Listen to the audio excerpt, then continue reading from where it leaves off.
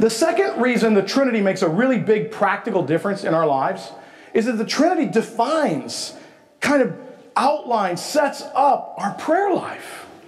In fact, our prayers don't even make sense apart from a Trinitarian understanding of God. For instance, think about this the Lord's Prayer.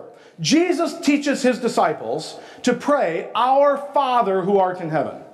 But how does God become your Father? How do you become a child of your Father? It isn't simply because you were born. Everybody who's born is automatically a child of the Father. No. No, there's a second birth that Jesus talks about that makes you a child of the Heavenly Father. And in that birth, God the Father claims you. But how does He do that? He claims you through the Son by the power of the Spirit.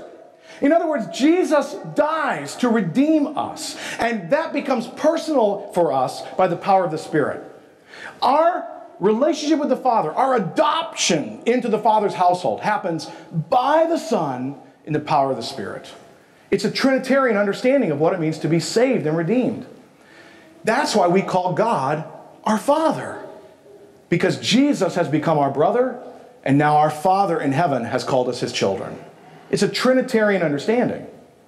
So, whenever we pray, think about this formula of our prayer life and how often we pray like this. We pray to the Father in the name of the Son through the power of the Spirit. That Trinitarian outline is what forms our prayer life. And that's why Christians end their prayers so often with, in Jesus' name.